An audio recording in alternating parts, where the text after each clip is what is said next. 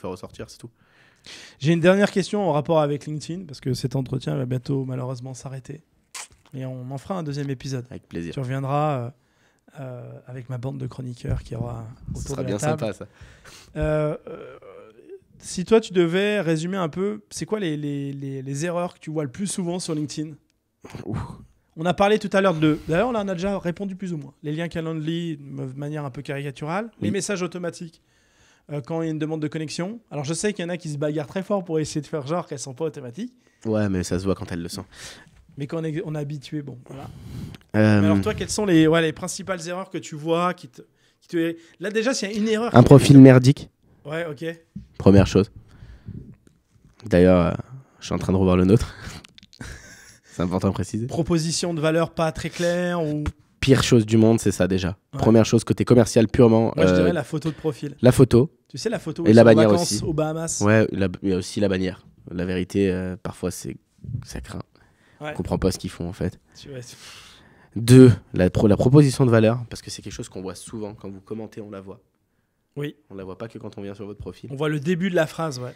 Donc arrêtez avec euh, cofondateur de euh, XXXZ. Mettez-le à la fin, ça, on s'en fout. Ouais. Euh, ce qui compte, c'est ce que vous proposez aux gens. Voilà. ouais. Euh, Travaillez-le bien, parce que souvent, c'est vraiment galvaudé. et donc, pff, faites co- on va avoir tendance à réfléchir, à se dire, bon, il fait comme tout le monde ou il fait comme lui. Ça, c'est pas bon. Ça commence déjà mal. Donc, si vous avez une mauvaise proposition de valeur, il faut, la bien, faut bien la travailler, vraiment. Ensuite, pas de- parfois dans le profil, il n'y a même pas de sélection, tout simplement de, de postes à mettre en avant pour la social fait, proof. ouais. Pensez votre profil comme une, une, une page de vente. page. On va bientôt faire une vidéo, nous, à ce sujet, je, je pense, une vidéo sur l'optimisation de profil. Mais en attendant, euh, prenons exemple sur les meilleurs. Euh, on- Il Bah. y a Théo qui a fait une très bonne vidéo sur l'optimisation de profil. C'est vrai que ça peut être très, Donc, très si vous voulez bien. regarder sur, euh, vous tapez Théo Lyon, euh, LinkedIn, vous allez tomber sur une de pense, ses vidéos ouais. sur l'optimisation de profil. Il en parle assez bien. Plein de choses à faire sur ce Euh, profil. mais mais je, je ferai moi une vidéo euh, poussée sur le sujet C'est cool. euh, pour aller en détail justement sur ces éléments-là. Ah, il faut aider, il faut aider sur euh, ce Et je vais sujet-là. vous expliquer comment utiliser ChatGPT si vous êtes nul pour vous aider Ouais. à remplir votre profil LinkedIn. Ça peut être pas mal, hein, parce que d'ailleurs, la description sur les profils LinkedIn est juste catastrophique. Ah, Exact. Je, je, je, je, je, bah, je m'en fous. En fait, euh, si je suis venu sur ton profil, c'est que je veux savoir ce que moi, tu Quel m'apportes. problème tu vas résoudre Les gens sont infiniment égoïstes. Nous, nous, nous compris. Moi je, moi je, moi, je ouais, ouais. D'accord Quand vous allez sur un putain de profil, vous n'allez pas pouvoir ce, ce que lui, il fait, vous y allez pour voir ce qu'il peut vous apporter. Donc, arrêtez de parler de vous, parlez-lui à lui. Ça, c'est la base. Et ensuite, des call to action, parce que franchement, il y en a plein qui sont en manque de call to action partout. Mais en réalité, euh, quand on dit pas aux gens quoi faire, ils ne le font pas. Tu sais, il y a une citation, il y a une, cit- une citation, bien sûr. C'est pas loin. Une citation de, de Brian Tracy sur euh, la vente et sur LinkedIn que je pourrais, on pourrait rapprocher entre guillemets. C'est qu'en fait, si vous voulez vendre quelque chose à quelqu'un, vous devez d'abord comprendre ce qui le motive. Bah oui. Donc c'est pour ça qu'avec le moi je, C'est quoi ses aspirations? Exact. Parlez pain point, arrêtez de parler de vous. Arrêtez de vendre, arrêtez de vous vendre vous. Parlez de ses problèmes à lui. Voilà. Faites-lui comprendre que vous avez Ou compris ses problèmes. Vendez-vous par le Biais des problèmes qu'il résout. exactement Mais c'est la base. en s'intéressant à lui. Et le tout avec un peu d'histoire aussi. Puis éviter les trucs un peu pompeux dans la, dans la croche. Euh, pff, euh, des fois, c'est un peu. Voilà. Alors, les- alors, le pire, c'est. Alors, désolé pour ceux qui seront concernés. Les speakers motivational, euh, business mentor, entrepreneurs, investisseurs, Web3 enthousiastes, Enthousiaste. veuillez quitter la table des négociations. Je vous prie de. Alors il y en a qui le font. Vous êtes le Mais, maillon euh, faible. Mais vous êtes- ils sont pas 100 000 à faire tout ça si bien. Vous êtes le maillon faible. Au V- revoir. Vaut mieux faire une chose bien que plein de choses pas bien. Ah ouais, ouais, non, mais en fait, ça sent bullshit. Ça sent bullshit. Faut pas en faire des tonnes. Ouais, faut pas en faire des tonnes. Soyez authentique, soyez vous-même, soyez Mais honnête. en fait, pas trop. Et en réalité, euh, on n'est pas là pour dire Et puis, on comprend toujours pas ce que vous réglez. Surtout, euh, parce qu'en fait, s'il fait tout, il fait rien. Voilà. Et, et surtout, on est là pour attiser la curiosité. Le but, c'est pas de répondre à tous les mots du monde. Ouais. C'est juste de donner une partie de notre facette psychologique, pas toute, pour donner suffisamment envie aux gens de prendre à vous découvrir plus en profondeur. Non, non, mais bien sûr. C'est, euh, on, est, on est tout à fait d'accord avec ça. Donc, c'est pour ça, voilà, c'est principal, euh, les principales erreurs que tu vois. Ouais. Bon, autre chose aussi, essayez d'éviter, quand vous avez un sujet polémique qui vient souvent dans votre feed et vous sentez que vous ne savez pas vous maîtriser sur le sujet, moi, ça m'est arrivé. Je vous donne une reco. En fait, désabonnez-vous. Ouais, Masquez. vous pouvez masquer. Ne rentrez pas euh, dans des discussions. De toute façon, ça va apporter quoi? Il y a Jean-Michel en face. Jean-Michel pas d'accord avec toi, qui va de toute façon camper sur, sur ses positions. Toi, tu vas donner donc de la confiture, euh, comme on dit, une bonne expression française, à des cochons. C'est-à-dire, tu vas essayer de sortir quelqu'un du débat. Enfin, bref, vous n'allez pas y arriver.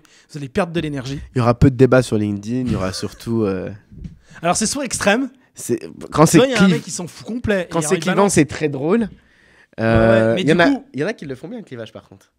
Oui, mais en- ce que je veux dire, c'est qu'éviter de rentrer dans des trucs politiques. Ah, par en contre, ils se prennent pas la tête, en fait. Ils sont dans leur clivage. Oui, c'est oui. une facette de, la- de leur personnalité. Ils savent que c'est pas eux. Tout à fait, ouais, ouais. Et ils en jouent. Et ils ont raison. Si dans leur business, ça, leur, ça, les, ça les sert et ça ne les dessert pas. Bien sûr, ouais.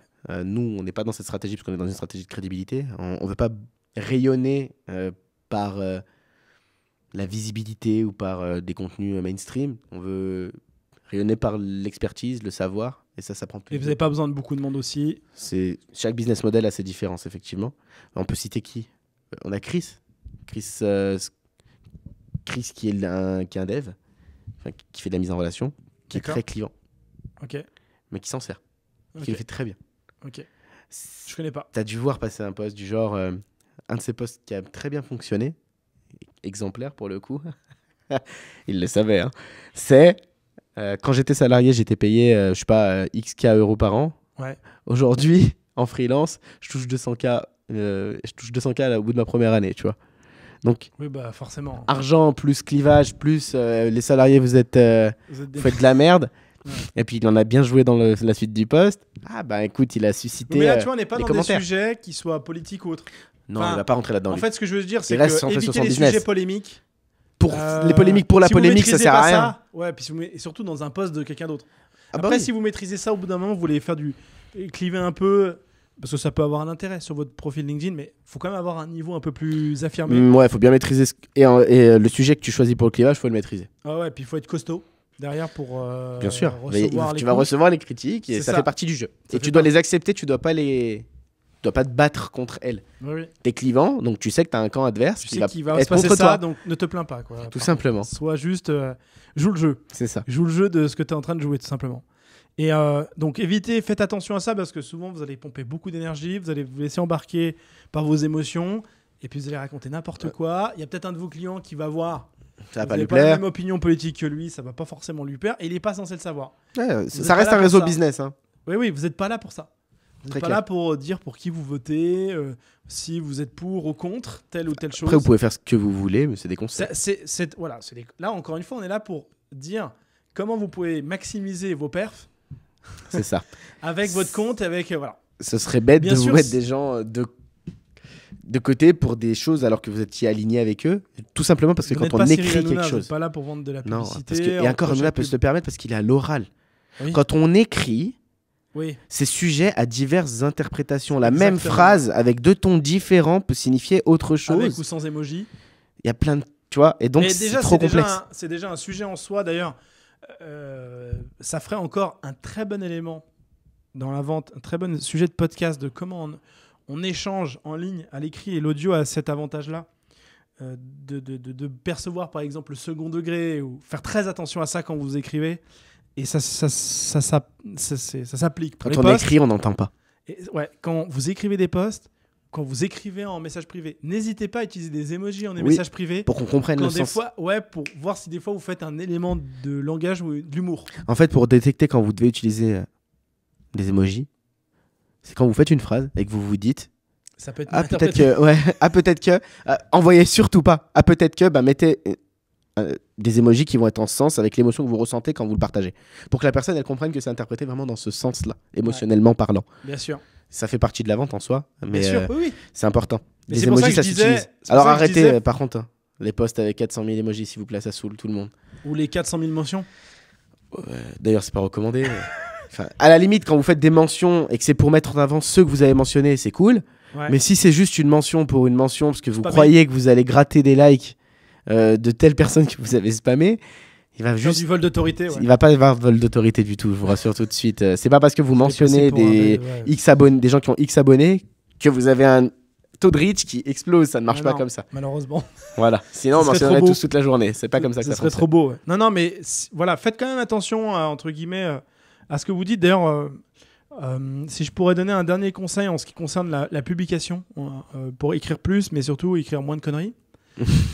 Ouais. Euh, donc déjà, vous nettoyez votre feed en ce qui concerne les commentaires, etc. Enlevez ce qui vous déplaît. Euh, vous n'êtes pas là pour avoir des émotions négatives toute la journée. Il faut que ce soit agréable d'être sur LinkedIn.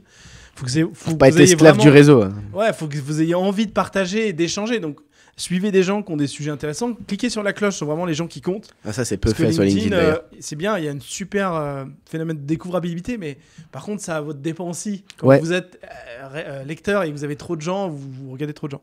Donc, mettez la petite cloche, ne, ne suivez pas tout le monde, etc. Essayez d'être un peu, de filtrer un peu. Et en parallèle à ça, du coup, quand vous écrivez en privé, on le disait avant, et quand vous écrivez tout court, pardon, pour les posts LinkedIn, j'en reviens aux posts LinkedIn. Moi, je donne toujours trois séquences en général quand on accompagne les clients, mais même pour eux, quand je leur enseigne, quand ils veulent écrire eux-mêmes, parce qu'on apprend aux gens à écrire pour eux-mêmes, on écrit pour eux, ou on fait euh, un mix des deux. Il y a une phase, en fait, pour moi, où vous devez trouver des idées. Oui, idéation, c'est la base. Ouais. Vous On trouvez des tout. idées. Tout ce qui lui passe par la tête. Ouais, tout ce qui vous noter. passe par la tête. Euh, vous utilisez, pourquoi pas, euh, des frameworks euh, assez connus ou éventuellement des exemples. Il y a vraiment des gens sur LinkedIn et nous-mêmes, on en fait aussi des posts qui donnent des idées d'exemples, des contextes pour trouver des idées de posts. Donc après, vous n'avez plus qu'à suivre les contextes et là, des idées vont venir. Bien taffer les accroches. Voilà, vous faites des idées, puis vous faites des accroches comme si elles devaient attirer l'œil. Là aussi, vous pouvez vous, aider de ChatGPT. Pour un peu de visio aux gens, les accroches, c'est euh, la miniature de YouTube. C'est ça, ouais. Vous cliquez pas si elle C'est vous ce fait qui chier. va faire stopper, quoi. Voilà, il faut un scroll stop bien fort. Et je dirais même que LinkedIn devient euh, de plus en plus euh, une plateforme avec les codes des autres plateformes. Ouais, c'est ça, ouais. Aujourd'hui, on est en train de vivre une transition et euh, le LinkedIn Bah, elle part sur la création va contenu, changer. hein. forcément. euh, Ouais, ça va devenir très créatif. Je pense qu'on va avoir des miniatures. Aujourd'hui, qu'est-ce qui exprime la miniature? C'est toutes ces personnes qui vont mettre leur tof et dire euh, j'ai fait sais, très inspirationnel, là, tous ces posts-là. Bah, en fait, c'est juste des gens qui usent de leur image parce qu'ils ont compris que ça, pétait, ça faisait péter le reach. Mais ça va, ça va changer aussi, puisqu'en fait, tout Oui, a- oui. est amené à s'étouffer en soi. Euh, je dirais qu'on va plutôt rentrer dans une plateforme où l'image va être une obligation, je pense. mhm. Parce que juste du textuel dans un feed qui devient de plus en plus concurrencé, bah, tu attires moins l'œil. C'est logique. Je dirais qu'il faut voir, suite aux mises à jour, quelles vont être les évolutions au travers de la vidéo, que je vois bien venir sur LinkedIn. Oui, moi je. Pour l'instant, le reach est claqué quand on fait de la vidéo. hein. Oui, Mais c'est pas grave. Parce que je pense que ça va changer. J'en suis convaincu. Je ne suis... On verra. Mais c'est dans très peu de temps, je pense. Ça Mhm. va changer. D'ailleurs, on est en pleine mise à jour en ce moment transitionnelle. Euh, mais sur les pages société, les vidéos fonctionnent assez, assez bien. bah, On ouais. accompagne des, des, des clients aussi sur les parties pages société parce que c'est assez. Le reach est compliqué sur les pages sociétés Eh en ben, général. Moi, je trouve que ça se discute sur une certaine strate de personnes Ok. parce que. Euh, bon, déjà, on n'attire pas le même public, c'est pas le même type de com. Donc, euh, nous, pour nous, c'est assez sympa aussi à faire, les, les contenus de société, parce qu'il y a moins de pression. euh, Bien sûr, bien sûr, c'est pas personnel. Il n'y a pas un nom et un prénom. C'est pas personnel, c'est une marque. Donc nous, on fait des posts pour les sociétés, hein, en passage, pour ceux que ça intéresse. Si vous avez une communication à faire, vous pouvez faire des posts régulièrement. Et la vidéo, j'ai quand même des, des exemples où j'ai des clients euh, qui font euh, 2000 impressions vidéo sur leur post en perso, mais ils font quand même 800, 900, des fois 1000 Ah, c'est pas claqué, quoi. sur une page société, c'est pas dégueu. Et il y a combien d'abonnés sur ces pages-là? Euh, sur ces pages-là, euh, là, le delta, il est entre certaines pages, elles ont que quelques centaines d'abonnés. Et ils font quand même 900 Oui, Donc en fait, peut-être que le format de la vidéo est poussé pour l'instant, en tout cas par LinkedIn, quand tu l'utilises. hein. Je, je pense que peut-être aussi dans un certain ratio, tu peux quand même en faire pas mal. Parce que, C'est intéressant. en fait, peut-être que tu peux faire pas mal de vues quand même. Euh, enfin, pas mal d'impressions quand même entre 0 et 2000 sur une page. Mais tu vas avoir beaucoup de difficultés à faire entre 2000 et 5, entre 5 et 10. On est d'accord. Il y a peut-être un ratio qui est comme ça. Ouais, alors sur, enfin, sur les posts Et autre nous, chose, euh, tu peux facilement aller faire 20 000. ouais, c'est ça. Et autre chose Euh, aussi. après, ça dépend de ton volume d'abonnés. hein, mais- Autre chose aussi sur les pages société, puis faut pas oublier un truc. Pourquoi le, le, le reach n'est pas poussé C'est que les pages société sont la base pour faire de la publicité. C'est ce que j'allais dire. Après, ça, reste un réseau contre- social qui veut faire du paid par en soi. des fois, mais faut, moi, je, on accompagne, comme je te dis, euh, de ce côté-là, et des fois, on fait pousser euh, les vidéos Ça ou les contenus sur les pages. Ben, franchement, le rapport, le ratio avec ce qu'on dépense en ads Est-ce qu'on récupère Est-ce que nous, ils nous payent nous et on fait le le global Pour des gens qui veulent pas se prendre la tête, c'est ok. Et ça fait un accroissement communautaire? Pas tellement, mais ça fait du lead. Ça fait de la visite site, ça fait du lead sur le site. C'est ce qui compte au final. On Ça fout. fait pas beaucoup. Ça fait Non, pas mais en fait, sur la- la page parce que vous La communauté, elle est plus indexée à ton profil personnel, de Ouais. ce qu'on peut en tirer comme learnings. Vous aurez pas beaucoup de leads sur les profils des dirigeants. Ouais, les gens auront un réflexe Google Ads, C'est plus Facebook euh, Ads, d'aller sur. euh, Tu vois ce que je veux dire ouais, sur je. Alors que quand tu vas le faire via ton compte entreprise et que tu vas aller euh, claquer X euros pour du paid, tu fais ce que tu as envie. Souvent, le contenu que tu pousses, tu mets une redirection sur quoi Déjà, Bah, le site. sur le site. Ouais, Et là, tu te rends compte qu'il y a beaucoup plus de leads. ouais c'est ça. Intéressant. Donc, ouais. Donc, Donc, pour, le coup, euh, la page société. euh, euh, l'optimisation, on fait l'optimisation de profil pour les personnes, mais aussi pour les pages société. Parce que Ok. Du coup, ça a un intérêt. Et euh, les gens, euh, du coup, ils vont scroller un peu sur la page société, ils vont voir d'autres contenus qui ramènent au site, où il y a le lien du site, etc. Et donc, euh, des fois, quand tu réfléchis bien, pour certaines boîtes, si elles ont, euh, pff, je dis n'importe quoi, 2000 euros de budget par mois, euh, elles veulent être sur LinkedIn, bah, des fois, c'est pas déconnant de Faire un prendre petit testing. 500 euros, 1000 euros de Petit contenu chez testing. nous et de mettre 1000 en ads plutôt que de mettre 2000 euros sur le profil du CIO qui a pas envie de partager. Oh, on est d'accord, c'est pas intéressant. Ça fait du lead sur le site. Et ça fait du lead euh, euh, un petit peu sur les profils LinkedIn des sociétés. En fait, après, du coup, les profils LinkedIn qui sont reliés à la société vont servir à réassurer sur la société. Sachant que pour ceux qui Et pas l'inverse. Pour les ads sur LinkedIn, c'est la même segmentation que sur. Par, euh, Oui, de tête. Puis il y a des petites astuces. Alors, je donne une autre astuce qui a été donnée par. Désolé, on donne beaucoup de sources de gens, mais en fait, c'est pas pour euh, faire genre qu'on connaît tout le monde. C'est pour leur. Pour rendre pas du tout en fait. C'est que en fait quand ça leur revient, on le dit. Euh, Jordan, Chenevier Truchet, ex-Germinal, Big up Joe. Bulldozer, a donné une très bonne astuce que je vais tester. C'est qu'il a. Parce qu'il y a un truc qui est vachement bien sur LinkedIn par rapport à Facebook Ads et à d'autres, c'est que lancer une pub, ça va très vite comme sur TikTok. Oui. Ils sont très peu chiants. Google Ads, Facebook, ça devient un enfer. La programmatique, il y a trop de volume, parce etc. C'est insupportable, on se fait bloquer pour rien. Ouais. Euh, c'est horrible, c'est un sujet en soi. Et euh, on se demande si des fois ils veulent pas faire du chiffre d'affaires. Mais je pense que là, ça va s'arranger bizarrement avec ce qui s'est passé. Euh, mais bizarrement, je pense que le service client va s'améliorer. Il y avait un peu plus de marge. Ouais, ouais, ouais. Et LinkedIn est très permissif. Donc vous pouvez faire un truc qui a été donné par Jordan. C'est vous créer une page société avec votre nom, votre prénom, comme si c'était une page perso. C'est assez drôle parce que là, nous, Et on a mis notre pousse. photo Stratco sur notre compte profil privé pour faire un test. On était en test là en ce moment. Et ben là, du coup, vous allez pousser sur une page, une fausse page société qui est vous en fait. Ok, bah c'est ce qui se passe pour nous là, Voilà. en test. Je suis en train de voir quel est l'impact Ok, bon, bah, test. sur la sur la sur le taux d'engagement, première chose. Ouais. Et sur la portée. La portée ne bon, la portée est forcément beaucoup plus grande. Ça c'est une certitude du coup. C'est sûr, ouais. Euh, le taux d'engagement, euh, c'est un peu trop jeune pour que je le dise. Ça fait une semaine. Mais là, c'est pour générer du lead? Enfin, du. de la- Parce que alors, là aussi, Les- ça peut être on va intéressant. voir, on va voir les deux, on va avoir deux KPI. Ouais. Est-ce que ça a généré du lead ou pas? Première chose. Même si de notre côté à nous, sur la target qu'on nous, on, atta- on, on va aller vraiment cœur de cible euh, challenger et sur un sujet assez complexe comme le nôtre, on a besoin souvent en fait de, les gens nous regardent, ont besoin de nous, et quand on va leur parler, on les tire, on les prend. Enfin, tu sais, c'est un peu le moment où ils ont envie de nous, at- nous attraper par la main et nous dire c'est bon, je, je voulais prendre un rendez-vous en fait, tu vois. C'est beaucoup moins. euh, je viens naturellement sur notre activité. C'est plus. Ah, c'est bon, t'es venu trop bien. Ouais, en fait, euh, j'arrête pas de regarder tes posts et il se passe ça, ça, ça chez moi. Blablabla, blablabla. Donc, c'est que- c'est pour ça que je te dis qu'on s'en sert vraiment comme d'un argument d'autorité et de crédibilité. Parce qu'au final, quand on prospecte, ça a un vrai impact. C'est plus de l'outbound, on fait pas que de l'inbound, on fait aussi de l'outbound. Et ça change tout euh, sur la phase de prospection. Pourtant, ils prennent pas rendez-vous. Donc, on a un vrai sujet chez Stratco qu'on est en train de regarder en fait. Écoute, moi, je, je pense qu'il y a des expériences hyper intéressantes à mener que euh, je pense euh, je- j'essaierai de rendre sur YouTube. Toi, tu vas en parler aussi, euh, vu que tu vas faire peut-être certainement un peu de budget public. Ouais, ça va arriver, oui. Ouais, donc moi, je, vais, je pourrais te redire, en tout cas, moi, en faire des tests. Moi, j'aimerais faire des tests aussi pour promouvoir ce podcast et promouvoir du contenu. Comme les gens ont quand même l'habitude de, de- qu'on leur promeut du, des contenus pour qu'on génère du lead, qu'on achète une formation, Ouais, qu'on prenne un e-book. Promouvoir des trucs pour eux, ça peut être cool. Je me, je me, je, parce que quand même faire croître un podcast ou euh, c'est pas non plus si évident. Et je vais essayer le, le, le page, je te dirai un peu ce que ça donne, de pousser des extraits euh, pour voir si les gens s'abonnent, parce qu'après on met un lien d'abonnement, les gens nous découvrent et voir ce que ça pourrait donner. Ouais, ça peut être Parce cool. que c'est peut-être pas déconnant quand on veut, surtout quand on fait un podcast comme nôtre, on est là pour donner de la valeur, etc. Pas de souci, mais on est là aussi pour entreprendre, pour se mettre en avant. Mettre en avant, euh, là en l'occurrence, ce podcast, c'est pour mettre en avant GetLinked. Exact. Et pour mon invité, c'est Stratco.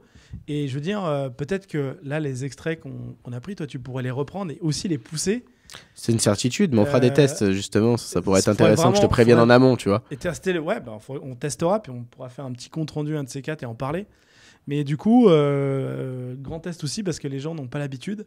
Et peut-être que de pousser du contenu et pousser de la vidéo sur LinkedIn, euh, de voir un peu les résultats que ça pourrait donner. Parce que Moi, mettre pour. 1000 euros de paid euh, dans l'année pour faire grossir de quelques centaines d'abonnés, Je pense pas que la target des abonnés soit celle qu'on doit rechercher, mais je suis d'accord avec toi, c'est ce qui, ce se passe aujourd'hui. hein. Non, mais c'est ce qui se passe. pour, pour passer plus facilement du 0 à 1000 vues par épisode à chaque fois, en parlant autre que abonnés. Ouais, c'est vrai. Faut à tester. Donc euh, mes amis, on va vous tenir au courant de toute façon. euh, Sachant que comme tu ne vends rien directement en soi, euh, tu pousses quelque chose qui est quand même à forte valeur pour la personne en face de lui, qui ne nécessite pas d'effort en soi. Il va pas devoir prendre un rendez-vous, t'appeler, etc. Il n'y a pas de démarche de vente pure. Il peut y avoir des résultats intéressants.